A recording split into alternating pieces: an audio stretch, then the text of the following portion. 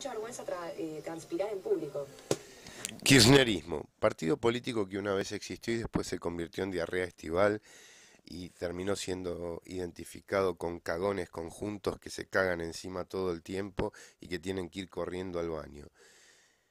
Ese es uno de los eh, modos en que está descrito ese partido político. Y varios lo hemos llegado a leer en diferentes lugares. Después, eh, con respecto a FM La Tribu y todo su sistema de corrupción, dado que mm, Socialismo para la Victoria tuvo funcionarios afanando discursos míos, como ocurrió también con Nuevo Encuentro cuando Sabatel afanaba mis discursos. No es extraño, no es extraño que después ellos de chorear, y aparte de lo que estamos hablando, ¿no? Porque si uno es anarquista y ve que eso ocurre, evidentemente negoció con esos sectores, ¿no? Por lo tanto, se cae el, chamullo de que Bernie reprime cuando ellos mismos, con Julia Mengolini y Romero, que se fue al canal que era de la tribu y, se fue a transar con Radio 10 y con Rusia Today, y con el restaurante Aleale, eh, se les cae el chamullo de que estaban en contra de la represión que ejercían Macri y Bernie, porque ellos mismos generan un audio para tratar de hacer de cuenta que yo soy, eh, que yo era contacto eh, de Bernie, ¿no? Cuando hicieron la cuestión de Tomás. O sea que mirá lo que le habrán pagado al propio Tomás, que Tomás censuró hasta que muriera su propio pariente, o sea, mi abuela, mientras todo esto está discutido al aire, la hija de Tomás se paseaba haciendo la película del ratón Pérez y no sé cuántas películas más, ¿no? Como eh, en el sistema de teatro donde también trabajó junto a otras personas que... Claro, porque Fernanda Pérez Boria trabajó en el sistema este de teatro junto a otras personas que terminaron acosándome eh, a raíz de que se la daban de contacto de Fernanda Arbelo, mi exnovia, ¿no?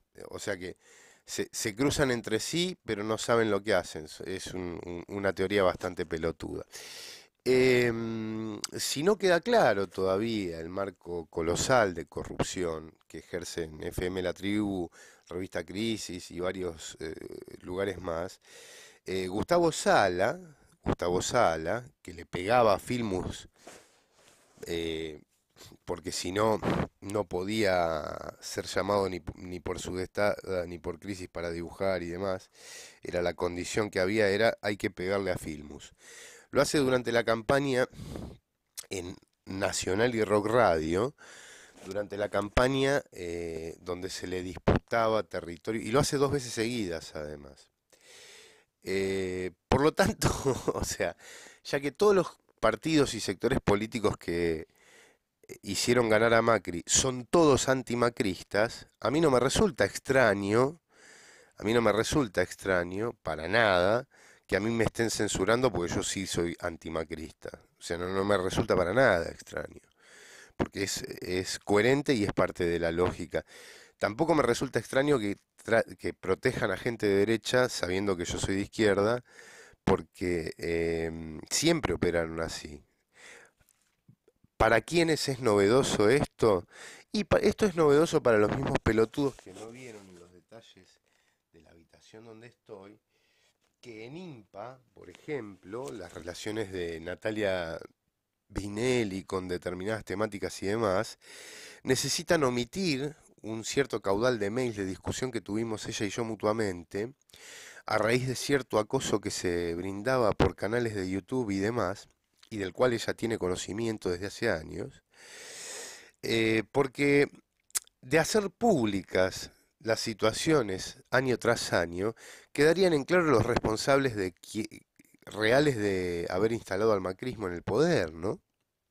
Y sería vergonzoso ver eh, todas las personas que se la daban de antimacristas y lo han instalado. Bueno, esto como primer punto. Igual vamos a seguir avanzando. Eh, recordemos que en el locutorio de Ecuador hacían de cuenta que se peleaban gente de la 26 de julio con un anarco colombiano, ¿no? Y en Caballito hacían lo mismo, ¿no? Esa, representación que siempre sucedió, como que estaban mutuamente mm, enconados, ¿no? Eh, El, el encono es tanto que afanan juntos. eh. Yo me entiendo a qué me refiero, algún día lo explicaré. Eh, el encono, claro que existe, desde, desde luego tienen encono. ¿Sabe ¿Saben cuándo tienen encono y cuándo van a tener encono? Cuando de vuelta estén peleando sectores tributarios barriales, ¿no? Sí, eh, esto es solo para entendidos.